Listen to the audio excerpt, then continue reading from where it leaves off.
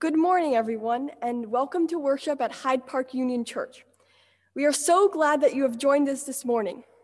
Know that you are in God's presence here, and you are welcome just as you are. Today is a Youth Sunday, which means that youth will be leading all elements of worship today. We will hear God's message through music, scripture, prayer, and spoken word this morning. We invite you to open your heart to the Holy Spirit as it moves throughout our service. We will now hear our opening prayer from Leah Charles.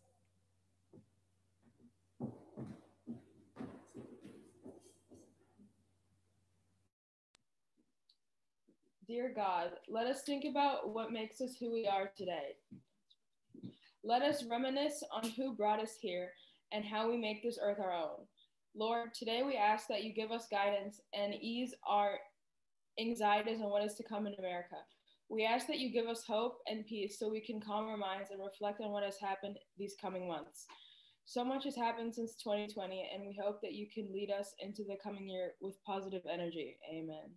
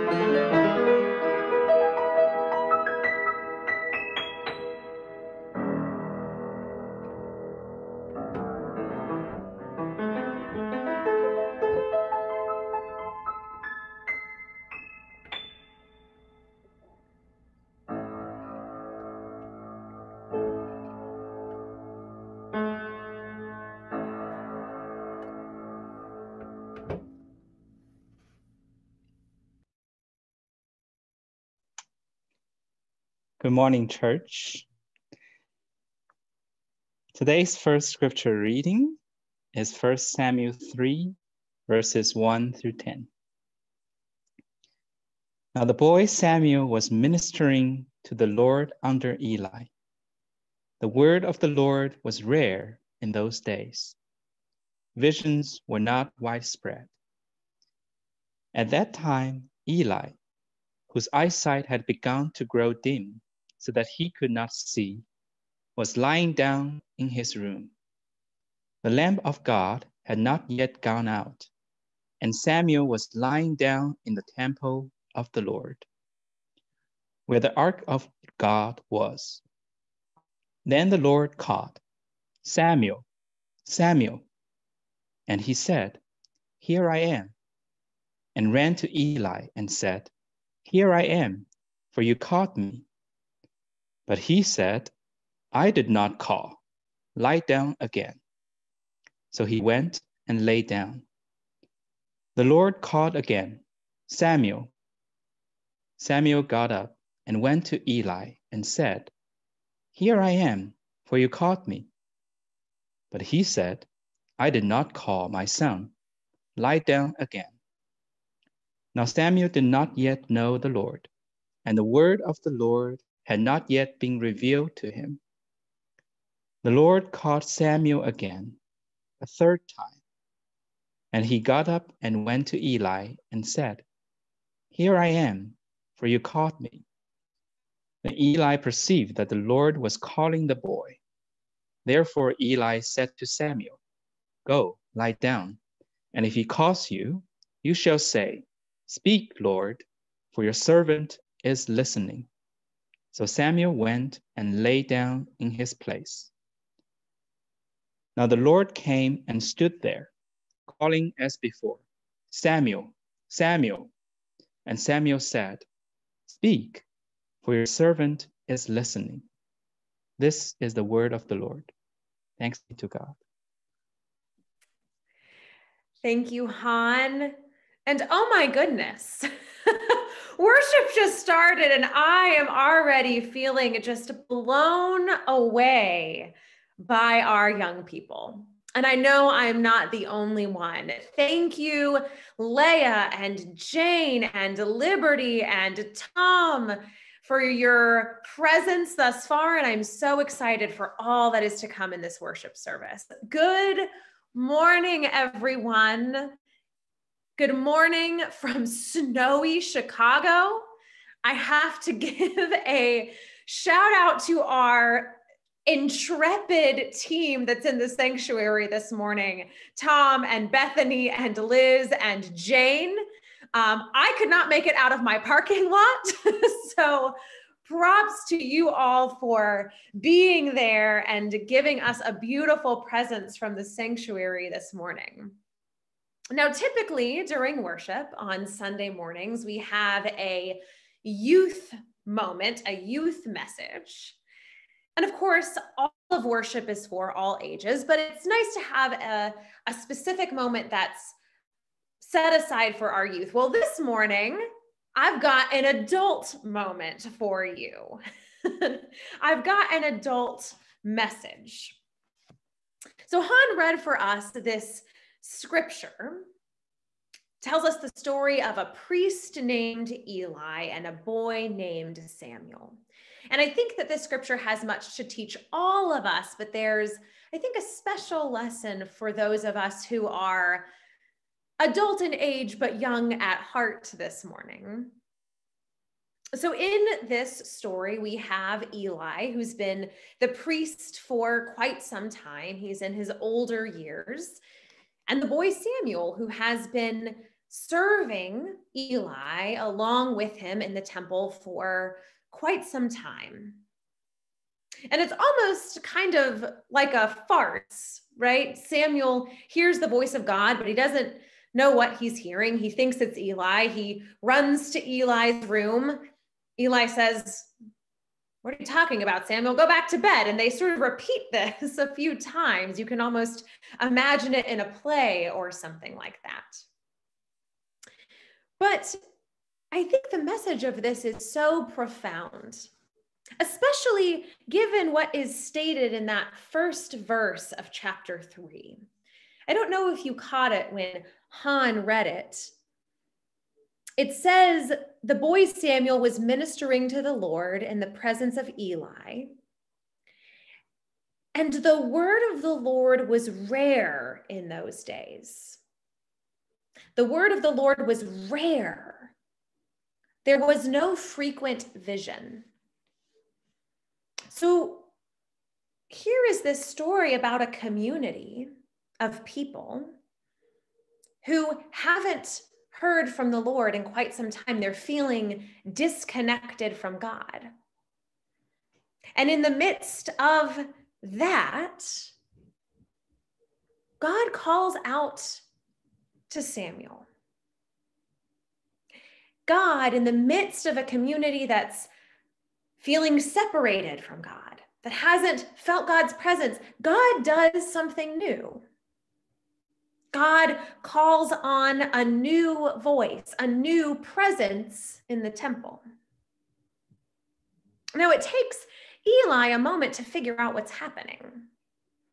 Right? Eli doesn't realize immediately that God is the one calling to Samuel, which is an important message that sometimes, sometimes all of us can miss God's voice, maybe because of our preconceived notions of who God is speaking to, who we're expecting God to call.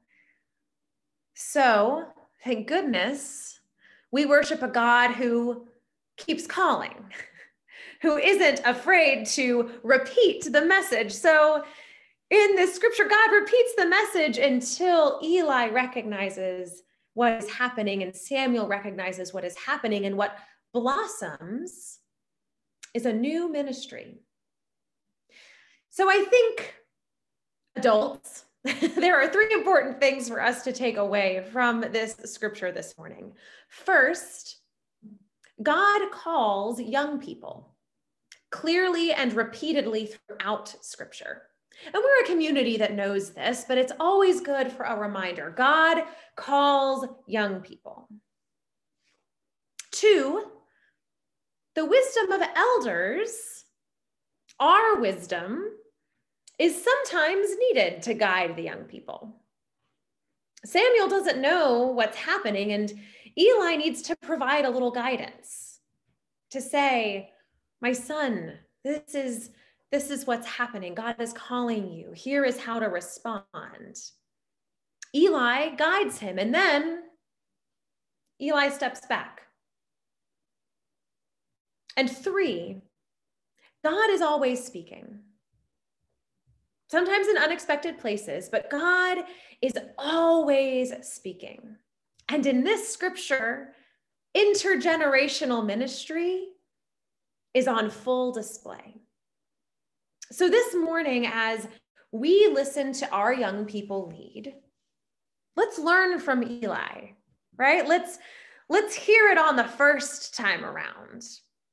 Let's be listeners and encouragers and advisors when it's necessary and asked for, and cheerleaders and uplifters, uplifters of God's call to our young people. With that in mind, we're now going to see a video essay that was written and recorded by Trinity Bryant. And this essay was written before the inauguration as Trinity was thinking about all that has happened over the past year. And it was actually submitted as part of a contest with the local NAACP for Reverend Martin Luther King Day. So let's listen with open hearts to Trinity's words this morning.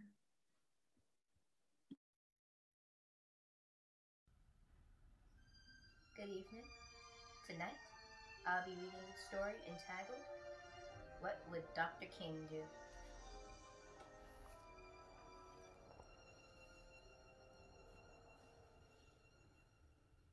In March of 2020, COVID 19 was declared a pandemic by the World Health Organization. What followed was a mass confusion and the intrusion of the current administration, spreading lies where our loved ones died. There was chaos in our streets. There was no toilet paper to reap. Our parks and schools that were once full of giggles and smiles were empty, like a child in exile. As a nation, we were in a great divide. Do we mask up to stay alive? Our federal government in a serious mess. The president playing the game, which state he likes best. While our heroes are dying, Our nurses, doctors, and frontline workers are the ones with the capital S on their chest. We can't breathe. No ventilators to be seen. The question on everyone's mind is what would Dr. King do during this time of historic peril? I can't say for sure what eloquent verbiage he would use, or what message he would choose to bring our nation back to reality. A reality when science rules in a war against this unseen virus. I do know Dr. King will shine a light on this plight of inequality in the fight. Our black and brown brothers and sisters are casualties of this war of healthcare inequality. Even in a time of great despair, Dr. King would not let his nation forget how resilient we are, how brilliant we are, and all our multi ethnic and multicultural beauty. I can only try to conceptualize the sentiment that Dr. King would bring to this war on our bodies and our humanity. What I do know for sure, Dr. King would not remain silent.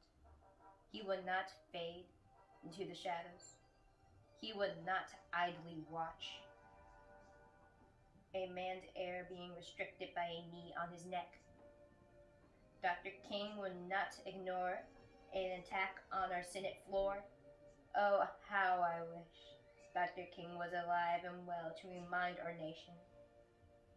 There comes a time when one must take a position that neither safe nor politic nor popular, but he must take it because conscience tells him it is right. Thank you, Dr. King.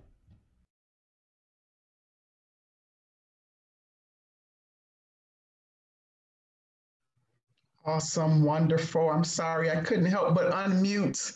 Amazing. Thank you. Thank you, Bryant family. Amazing.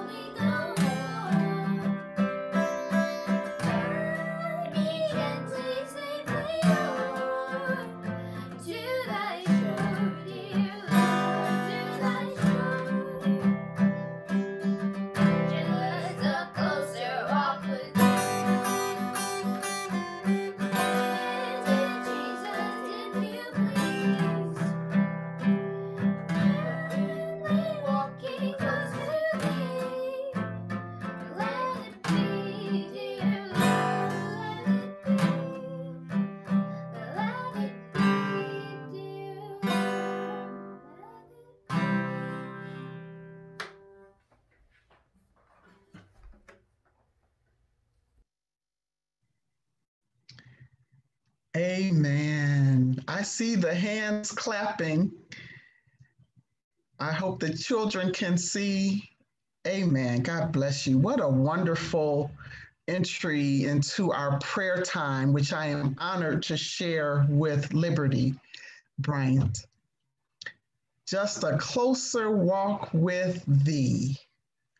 My prayer this morning, first, is that you all are being tremendously blessed by our young people and the hope that they represent. My heart is full. I am so grateful to God for the young people of Hyde Park Union Church.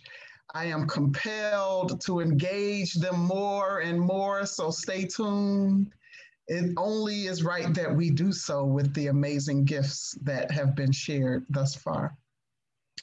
As we enter prayer, I do want to first ask that our young people share in the chat um, their prayers.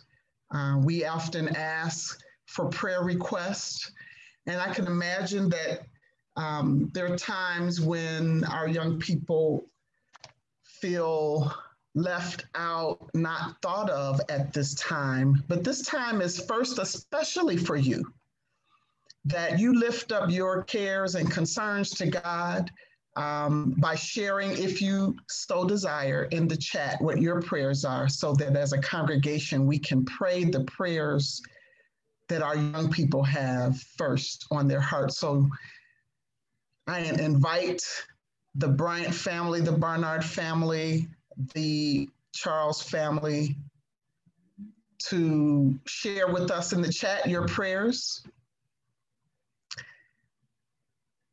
At this time, scripture comes to mind when Jesus is speaking and, and the disciples want to keep the children from Jesus. And Jesus says, Let them come to me and forbid them not, for such is the kingdom of heaven. So we invite our young people to share their prayers. And then for all to type your prayer requests in the chat, and we will lift those up. I see a prayer that the snow continues. You know that had to be. Was that Dory? that the snow continues. We hear your prayer. Lord, in your mercy, hear our prayers. Another prayer of gratitude from the Bryan household for the snow. Amen. I hear that prayer. I remember days of making snow angels and building igloos, igloos, excuse me, and crawling in them with the snow. So we hear you. There was a day many of us enjoyed the snow, some of us not so much now. But thank you for reminding us of that youthful joy of the snow. Any other prayer requests, adults, feel free to, to type your prayer requests as well. We continue to pray for those in our country impacted by COVID 19 and by the pandemic overall, those who feel isolated and alone. We lift you up to God. Uh, Lord, in your mercy, hear our prayers. From the Charles household, give us a snow day, Lord. I remember snow days from school. Lord, in your mercy, hear our prayers. Prayers for a smoother rollout of the vaccination. Thank you, Anna. Lord, in your mercy, hear our prayers. Prayers for Jenny Cook, who is planning to return to Hyde Park this Tuesday. Lord, in your mercy, hear our prayers. Prayers for Rita's sister, Mary, who is recovering from stent surgery. Lord, in your mercy, hear our prayers. Prayers for Jennifer's children and stepchildren. Amen. Lord, in your mercy, hear our prayers. Prayers continue for Liz's brother, um, who continues his treatment.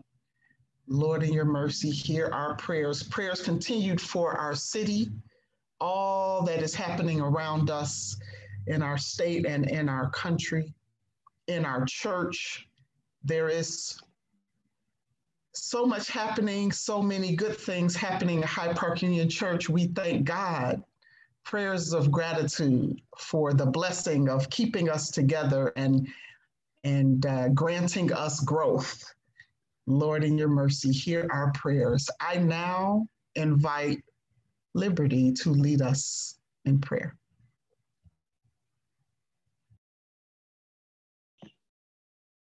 Our Father, who art in heaven, hallowed be thy name. Thy kingdom come, thy will be done, on earth as it is in heaven. Give us this day our daily bread, and forgive us our trespasses, as we forgive those who trespass against us.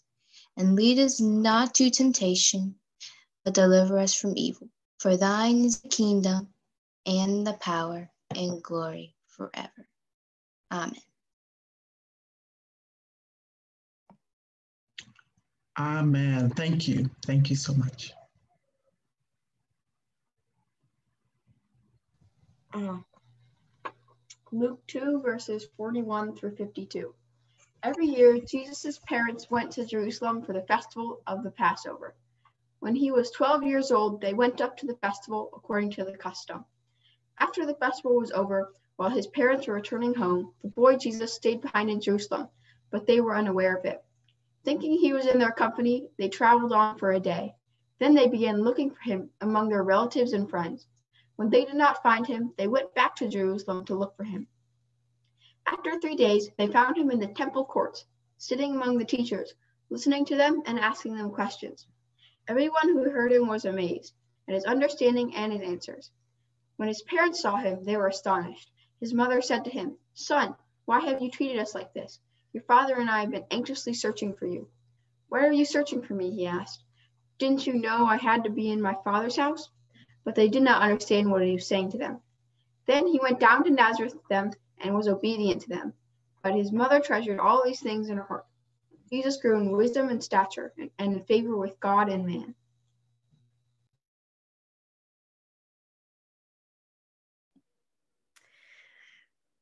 Thank you, Dory. Another story. I hope you hear the similarities between this and the passage earlier from First Samuel. And that line of the parents being astonished stood out to me, Dory, as you read that. Who has found themselves astonished so far this morning by the amazing gifts of our young people? I've found myself astonished. Not surprised. I know you all are greatly talented, but I am astonished in the way of receiving your blessings this morning. So we will continue to receive those blessings by hearing a story from Noah.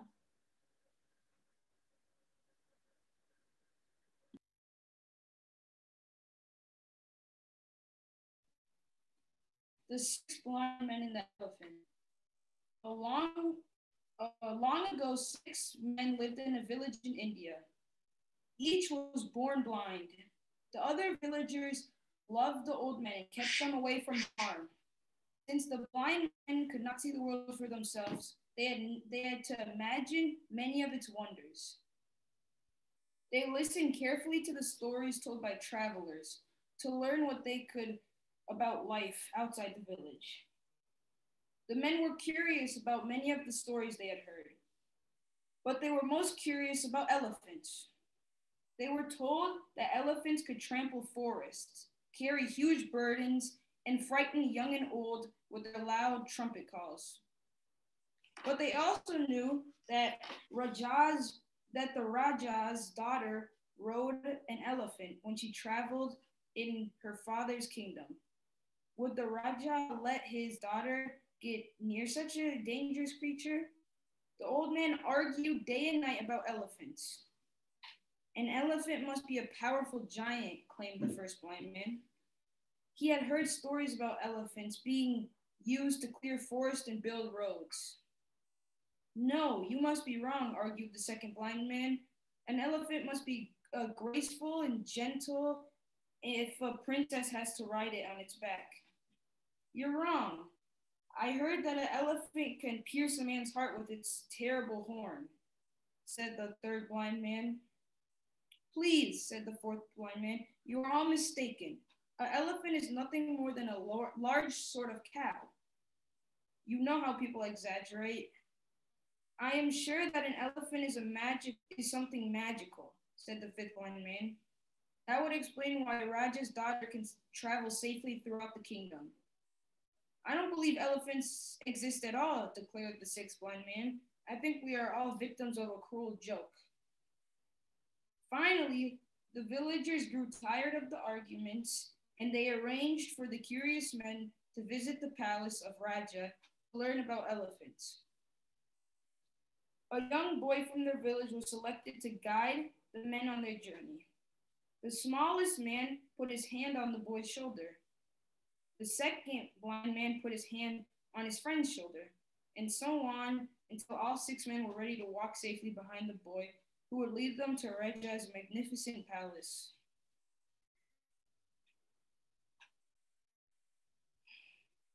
When the blind men reached the palace, they were greeted by an old friend from their village who worked as a gardener on the palace grounds. They, their friend led them into the courtyard. There stood an elephant. The blind man stepped toward to touch the creature that was subject of so many arguments. The first blind man reached out and touched the side of the huge animal. An elephant is smooth and solid like a wall, he declared. It must be very powerful. The second man put his hand on the elephant's limber trunk. An elephant is like a giant snake, he announced. The third blind man felt the elephant's pointed tusk. I was right, he decided. This creature is as sharp and deadly as a spear. The fourth blind man touched one of the elephant's forelegs. What we have here, he said, is an extremely large, large cow. The fifth blind man felt the elephant's giant ear. I believe the elephant is like a huge fan, or maybe a magic carpet that can fly over mountains and treetops. The sixth blind man, the sixth blind man gave a tug on the elephant's coarse tail. Why, this is nothing than a piece of old rope. Dangerous indeed, he scoffed. The gardener led his friends to the shade of a tree. Sit here and rest for the long journey home, he said. I will bring you some water to drink. While they waited, the six blind men talked about the elephant. The elephant is like a wall, said the first blind man. Surely we can finally agree on that. A wall? The elephant is a giant snake, answered the second blind man. It's a spear, I tell you, insisted the third blind man. I'm certain it's a giant cow, said the fourth blind man. Magic carpet, there's no doubt, said the fifth blind man. Don't you see? pleaded the sixth blind man. Someone used the rope to trick us. Their argument continued. Their shouts got louder and louder. Wall, snake, spear, cow, carpet, rope. Stop shouting, called a very angry voice. It was Raja, awakened from his nap by the very noisy argument. How can each of you be so certain you are right? asked the ruler.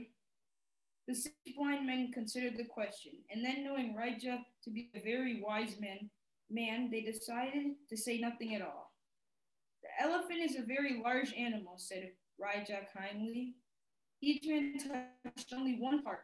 Perhaps if you put the parts together, you will see the truth. Now let me finish my nap in peace. When the friend returned to the garden with cool water, the six men res- rested quietly in the shade, thinking about Raja's advice. He is right, said the first blind man. To learn the truth, we must put all parts together.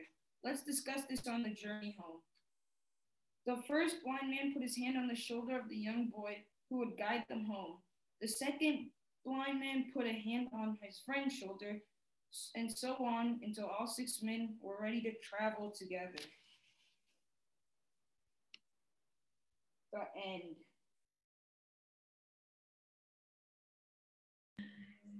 Thank you, Noah, for that reminder that each one of us only sees part of things.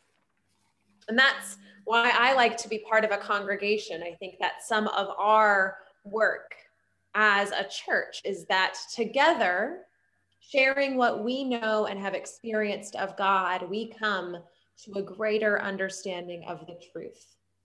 So thank you, thank you for your wisdom in that story this morning. And now we are headed back to the sanctuary where Jane will lead us. It is now time for our offering. We encourage you to give as you are able.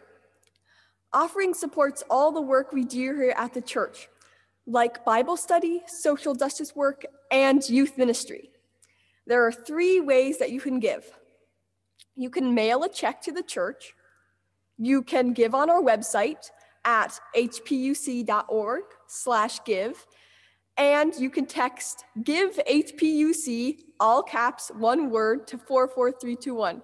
I repeat, you can text give HPUC, all caps, one word to 44321. Let us pray. Dear God, please help us be good stewards We pray that this offering is used to do good in our community. We pray this offering is used to do good for one another. We ask that you create generous hearts within us. Bless this church. Amen. Okay, now for some announcements. Um, there are several announcements this morning. After worship, there will be a second hour for both adults and youth. Uh, Pastor Veronica will lead the youth coffee hour, and moderator uh, Ingrid Wallace and Jana French, sorry, Jana French, will lead a discussion on understanding white supremacy. Stay on Zoom after the service to join one of these breakout rooms. A congregational meeting uh, will be held on Sunday, February 14th, following worship. We will discuss plans for this year, hear an update on church life, and vote for the on the 2021 budget and committee slate. Uh, next Sunday is Communion Sunday, and we will be welcoming three new members of Hyde Park Union Church. Be sure to join for an exciting time of worship. Bible study continues on Thursday nights at 6 o'clock. The Zoom link can be found online and in the bulletin. Uh, finally, meditation continues on Wednesday nights at 6 o'clock. Thank you. We will now hear closing music from Bethany Pixons, Tom Gotch, and Ingrid Wallace, Day by Day from Godspell.